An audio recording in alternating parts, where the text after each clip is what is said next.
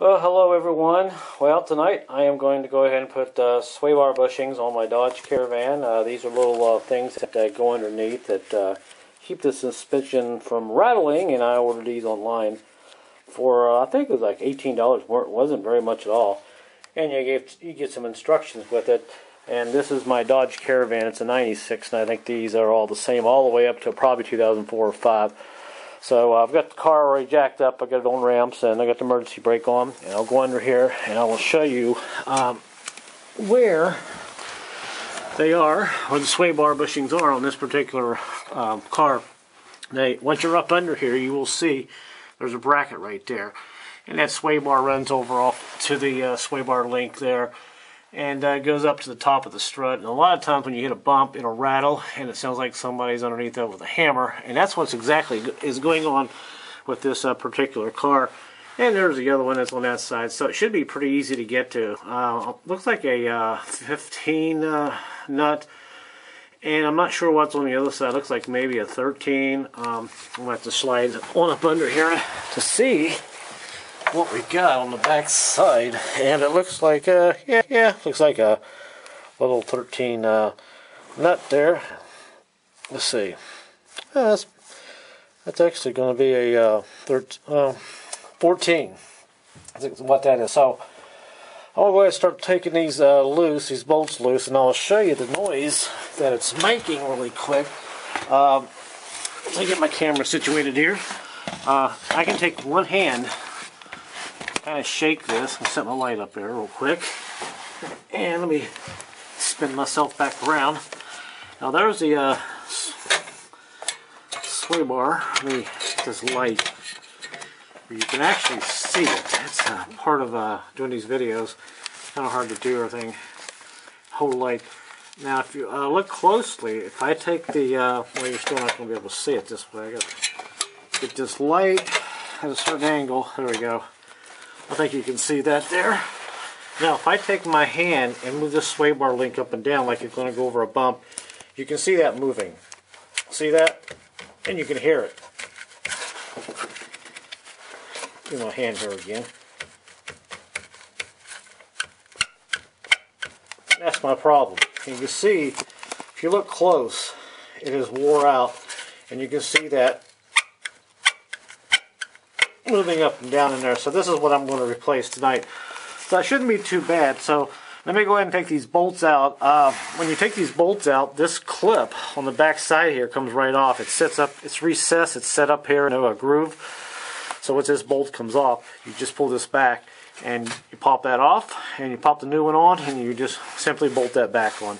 So let me go ahead and take this off. Alright, I got the uh, passenger side bolt out. Pretty easy to do. Uh, both sides are actually uh, 15 um, uh, sockets and a wrench. I put a, a, wrench on one side and I'm actually cheating tonight. I'm using my little power tool there, but you can use a wrench and a socket. It was really easy to take off. This makes it a little bit faster. Now I want to shine that light there and uh, take this off real quick. Let's see if I can see it there. Okay, there's that. See what I'm saying? The tab right there. That just kind of rides up over that. And there's the bracket. And all I gotta do now is pop that uh, bushing up there. Well, there's nothing left of it. It's pretty much shot. Let me. I'm gonna set the camera down and pop that off there. Give you a look at it real quick. And We'll put the new one on. All right, I got it off. There's the old one, and there's the new one. Boy, what a difference, huh? That thing is completely wore out reamed out pretty good, so no wonder I was getting all that noise. Now all I gotta do is stick that one in there. Just remember how they go in. Uh, this one here, uh, the factory one has a little uh, place here, kind of uh, sticks out farther. Like you see, you can see it on that. It's kind of you know, groove there, how it sticks out. That goes back in toward the back of the frame. I'll, I'll give you a look at it here after I stick it in. So let me uh, stick this in now.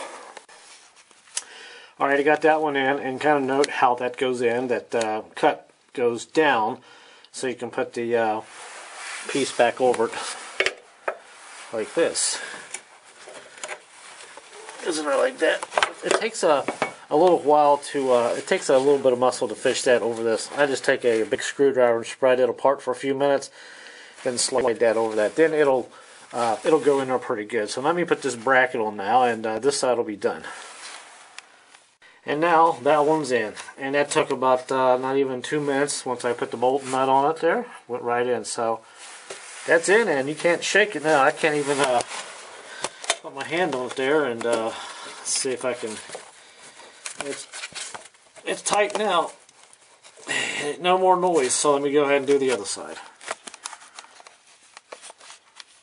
Alright, I got the uh, driver's side out. Now, on this side, you've got this ABS uh, thing back here, this uh, thing that controls your ABS braking system. It's in the way of this bolt. I just took a wrench, and there's some, some places behind there you can get your hand, and just put your 15 wrench on the back side,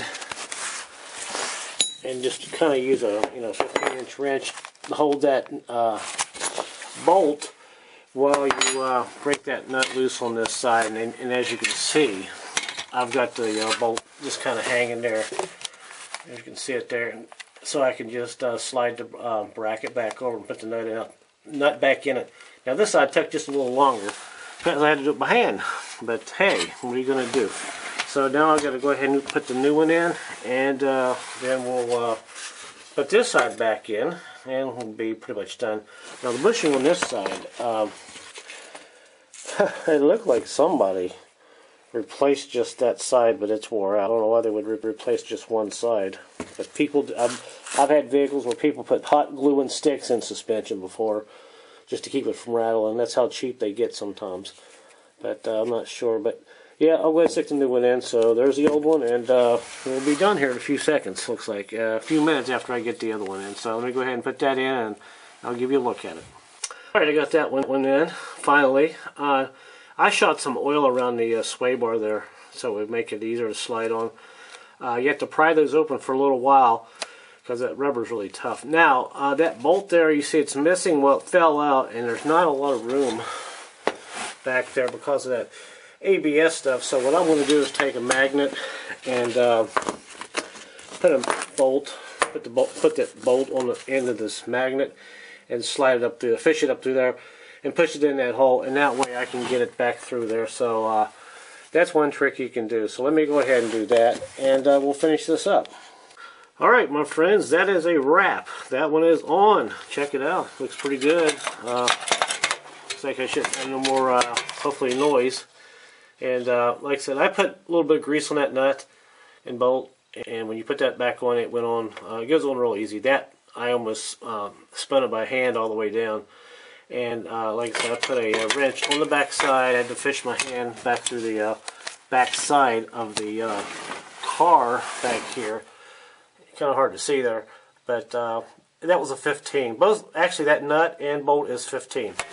And don't forget when you get this tightened down up on the front there, once you get that nut tight, with that, I'm using a deep well socket, it's a uh, 15. Don't forget to take your uh, wrench back off the back side.